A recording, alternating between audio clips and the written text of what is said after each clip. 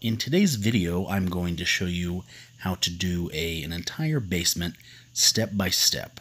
Uh, we're going to hang the drywall, tape and fill it, and then we will texture it using Holy Smooth on the walls and then a standard knockdown for the ceiling. I forget how many total sheets I had. I think it was around 80. Uh, I have 8 uh, foot sheets there and then 10 foot sheets. I like to use the longest sheets as possible. 10 was all I could fit down uh, that window well. Um, if I can, I even like to use 15 foot sheets just so there's less joints. This here is just a walkthrough of the entire project unhung. I do a similar walkthrough at the very end um, showing the entire project completed.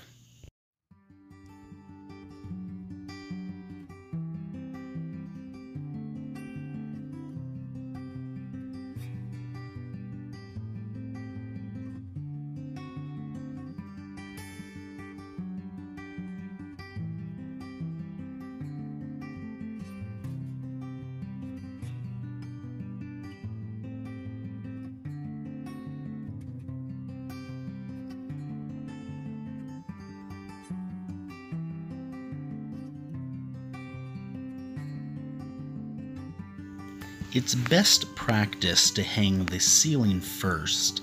Um, I've gotten really good at this. That was a 10 foot sheet. Um, but they do make drywall lifts. They just take forever and take so much time.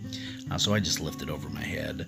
Uh, it's extremely important to figure out all your outlets and lights so you can pre-mark them so you know where to cut. You don't want to bury anything in the ceiling.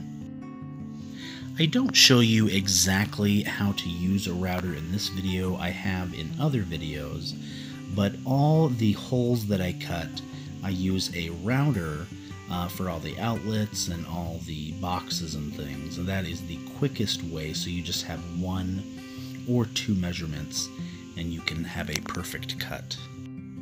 When hanging walls, if you noticed I did the top portion of the wall first end that shorter. I rip it. So I take, because drywall is four foot, and then I cut the top off. That way the bottom uh, piece of drywall is exactly four foot. And then I use a toe jack to lift it into place.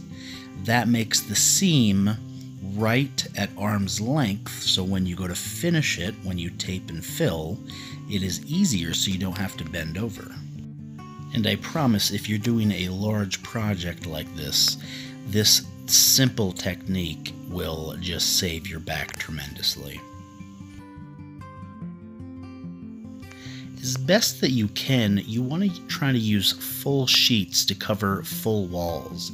Like here, I used 8 foot sheets, so that was one full piece because you don't want to have butt joints. Same on either side there, I stood the draw the drywall upright so there wasn't a seam on either side. This makes less tape and less fill, so the job is just easier. That same exact technique here, if you notice that ceiling from both sides is completely one sheet. I believe those were 10 foot. Uh, there I do have a little gap, um, but uh, just as best you can, you want to use full sheets so there's no butt joints. When hanging around windows and doors, you never want the seam to be on the uh, parallel right side or left side of the window. You always want that butt joint to be somewhere in the middle, like you see there, uh, or spanning the entire window. Um, that would just promote cracking if you put a seam there. So you always want to, with doors and windows, do that.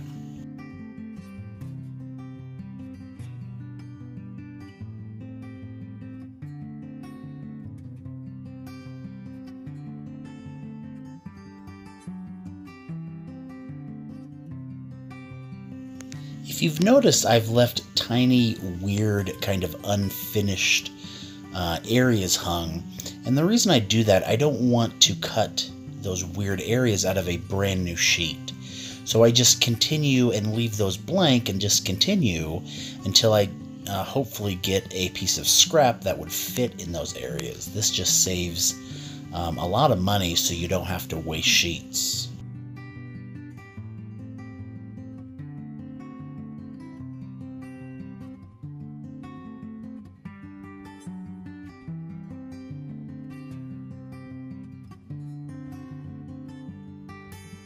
Most of the time, I use a router to cut all my boxes and things out.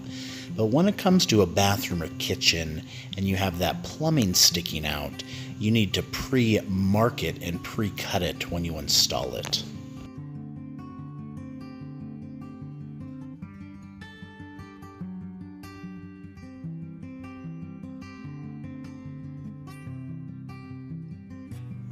Again here with the ceiling, I use the same technique, so that is a full sheet.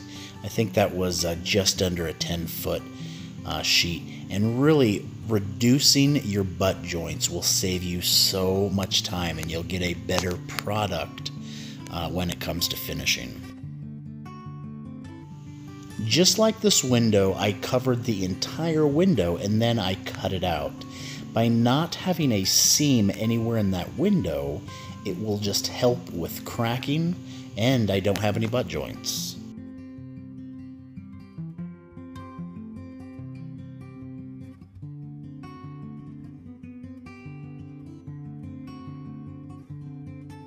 I have been hanging drywall a long time and have cracked uh, many pieces of drywall. I will put it on my head like that and it just breaks down the middle and then kind of sandwiches me and it's very frustrating. I didn't break any on this job, and I haven't broken any in a long time.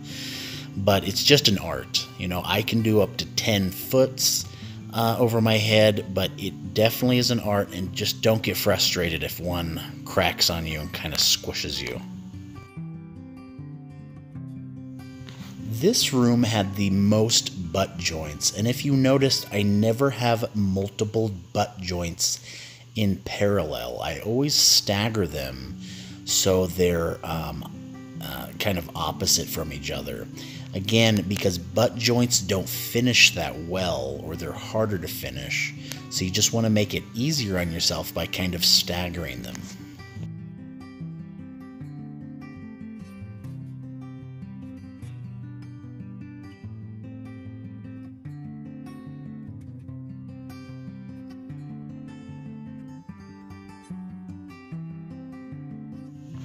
This I'm going to go ahead and fill all the random weird areas.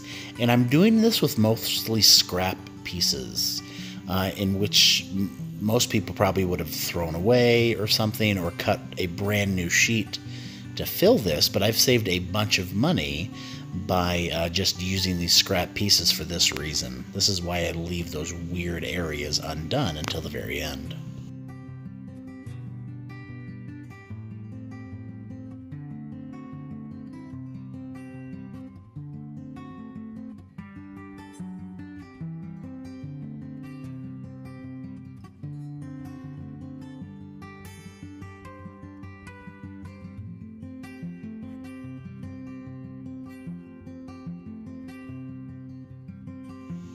I really enjoy hanging. It can, once you kind of get in the rhythm of it, uh, you really can just kind of stop thinking, and it, it really is quite relaxing just to kind of just go to town on it and just watch the progress. It, it really is relaxing um, to do this. Here I am wrapping, uh, these are uh, wrapped entryways, so you have to put a small bit of drywall on the inside of it. If it's a door, uh, like a hanging door, you don't need to put drywall there.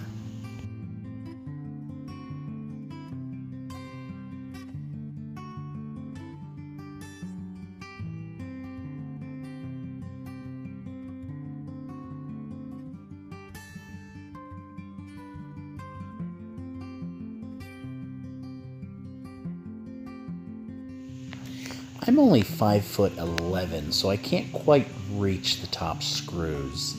Uh, so I always leave that lot, that top layer of screws till the very end when I'm hung. So that's what I do in each room. I, I just go around with my benches and just screw it off. Uh, then I did uh, prep for pre-fill, where you kind of take a knife and clean everything up, uh, and then you pre-fill. So that's what I've done. I've screwed and then I've cut it, and now I am pre-filling. So basically what pre-fill is, is any just large gaps, anything, if you can see light or a gap, you just shove mud in there and wipe it really tight. Pre-fill is one of the most important things to prevent cracking. Because what would happen if I didn't pre-fill some of these gaps and just taped right over it? There would be an air pocket underneath and over time, just through vibration and movement, it would eventually crack. But by pre filling, it fills that so there's no air, it's all solid. And it just does a huge wonder for cracks. It just basically, it'll never crack.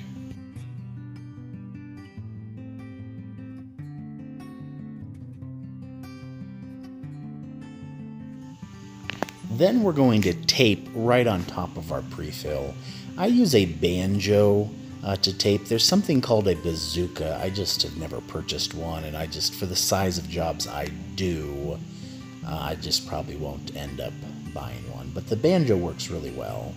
Um, you always want to do your flats first. So what that means is your butt joints and your recessed joints first. Your inside corners, uh, you want to wait a couple hours or even the next day to do uh, just so you don't mess up your flats.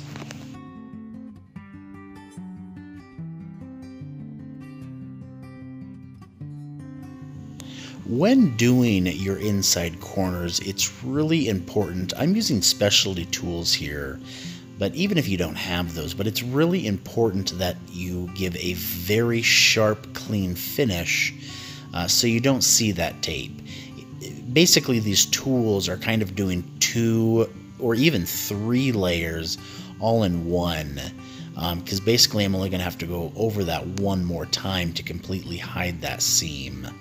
Uh, so while it's still wet, this step is very crucial. Just make those inside corners beautiful. Really take your time and make them look and uh, beautiful and covered.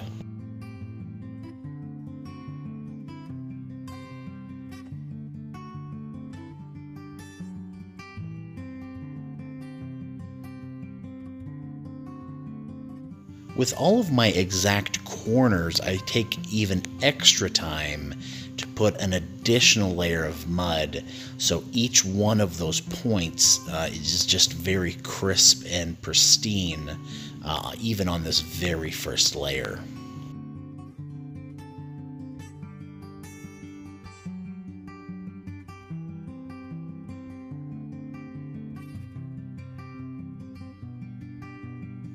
The customer here chose to use bullnose for their corner bead. Uh, doing bullnose, you really have to take your time um, and put it on because it's easy to put on crooked. So you see me kind of adjust it with a six inch knife uh, to check the fill. All bead will eventually need at least three coats, if not more. Uh, the goal for bead is that you have a flat surface. You don't want an indented bowl. Um, it, it just looks bad and it's just not done properly. So this is obviously the very first coat. And I believe this one I may have done four coats on all of the bead. I'm using here a flat uh, box. I believe that one is a 10 inch box. Uh, you could certainly do this by hand. Um, you kind of see me do by hand on the butt joints there. Um, that tool, though, just saves a ton of time. Um, but this is just the very first finishing coat that I'm putting on.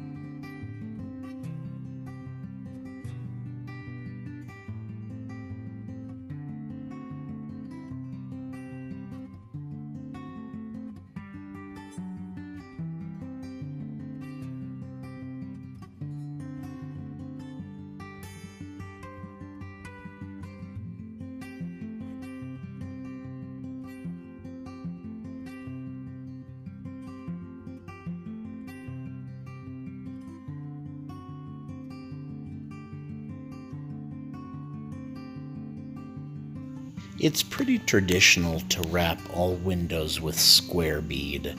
Uh, I prefer square bead in general, and I just think it looks fantastic.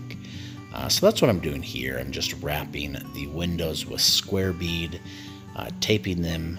Uh, I prefer the yellow tape. I can just see it. The white tape is sometimes hidden. Uh, the yellow, you just keep going until you don't see tape.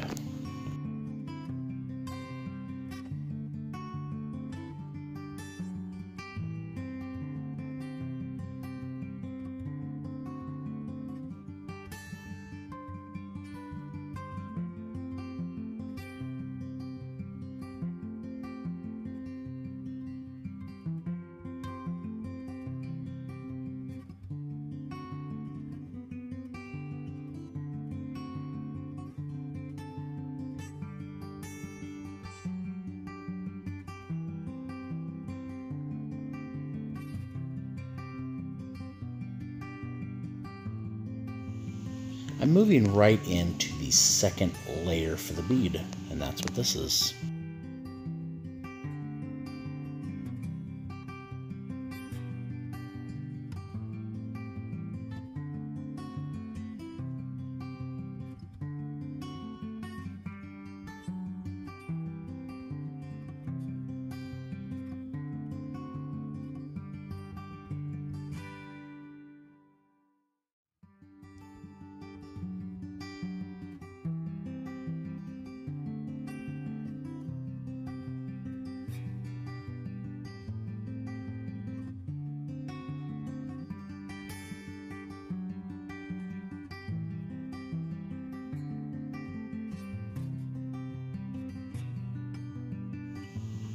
I'm now going to start using my 12 inch box and this is the second flat coat finishing layer.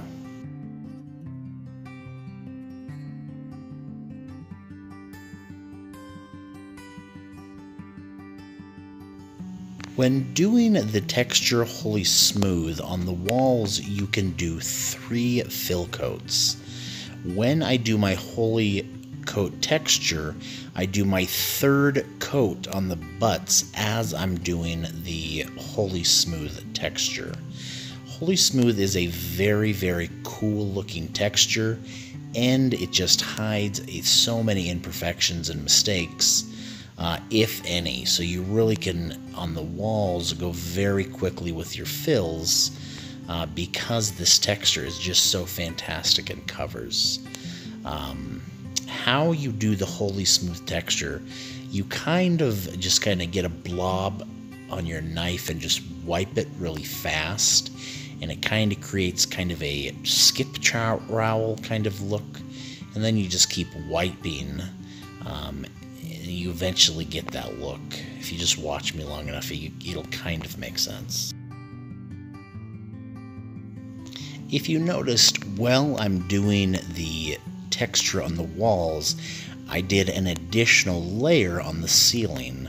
With a standard knockdown, the ceiling has to be a flatter finish uh, because you can see through that texture onto the flat wall.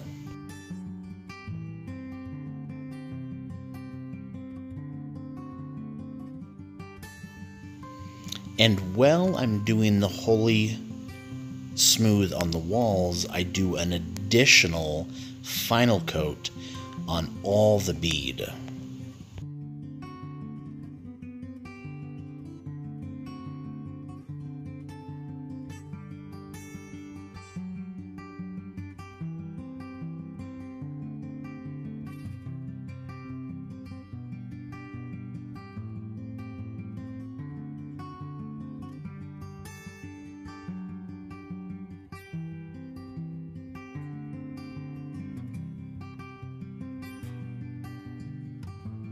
This Holy Smooth texture is probably one of my favorite um, parts of the entire job.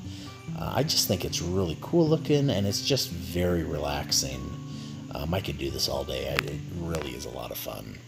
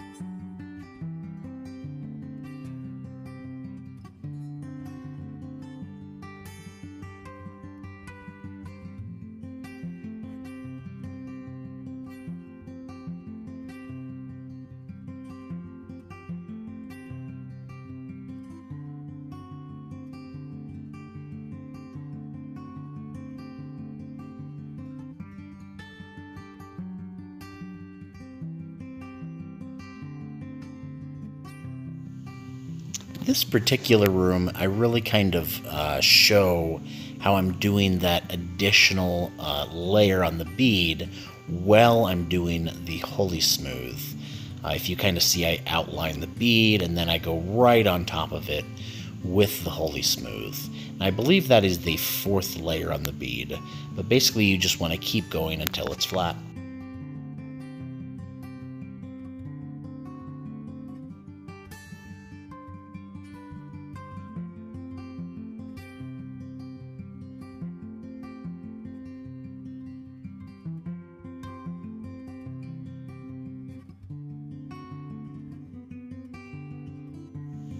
If I remember right, I did all of the walls on the same day, and I think it took six hours to do all the walls, so it goes fairly quickly for the size of an, the area you have.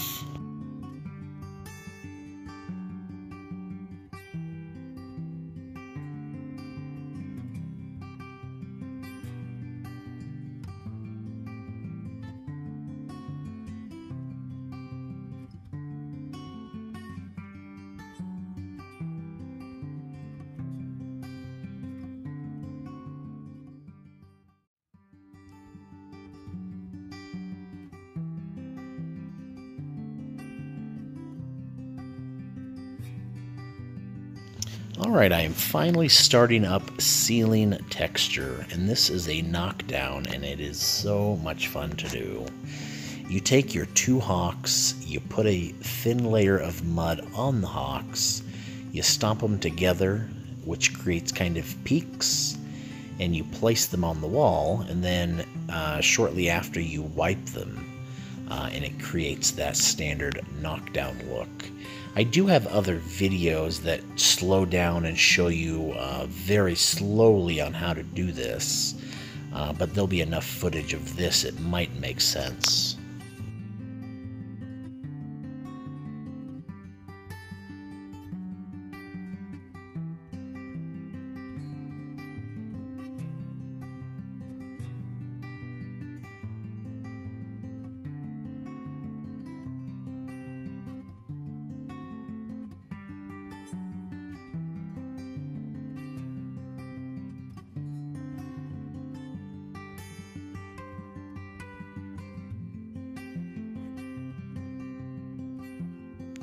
Pretty interesting, isn't it? I just think this is so cool to watch, and it is so much fun to do. It really is very cool.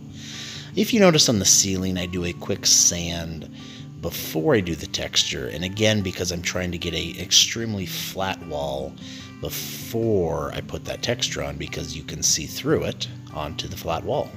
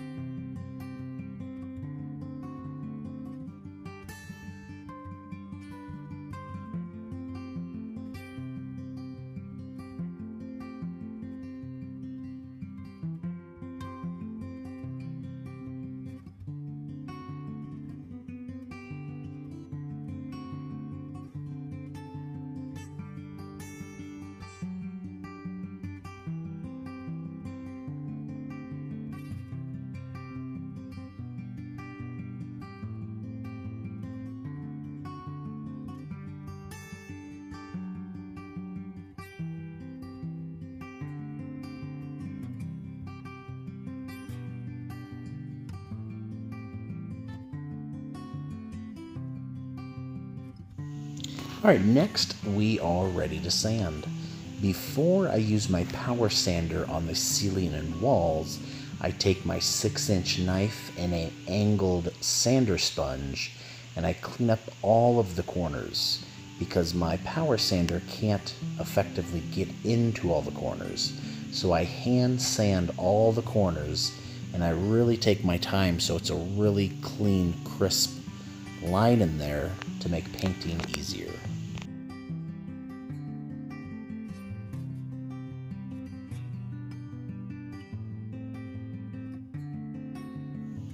The walls are fairly dried. I did them the day before this. But the ceiling, I actually did the ceiling the same day as I'm sanding. And this takes very special touch and very careful touch because it's a wet sand that if you haven't done it before, maybe wait a day before you sand it because you can easily mess it up. Wet sanding is extremely difficult and it takes just a special touch.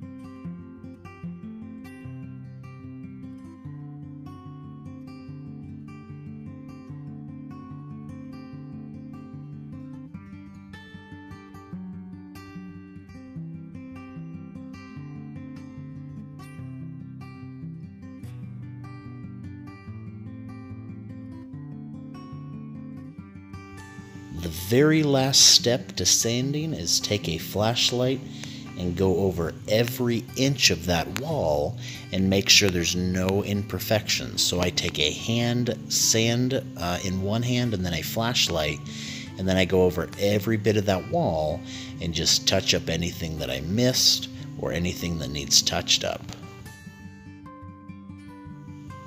And that completes the entire project.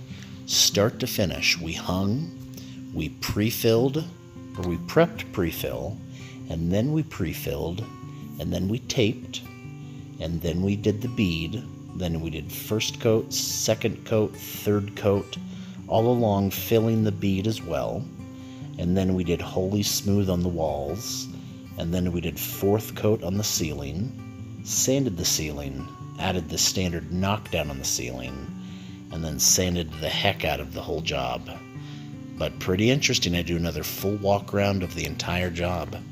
I did this whole project completely by myself, and it was pretty fun to do.